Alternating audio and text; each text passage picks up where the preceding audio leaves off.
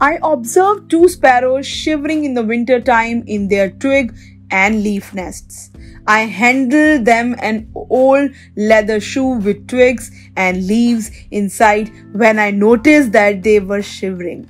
I soon observed them to be comfortable and cozy. Leather is a sound heat barrier and provides excellent heat insulation.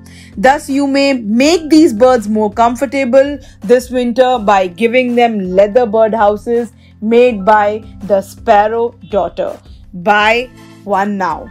Join Sparrow Daughter.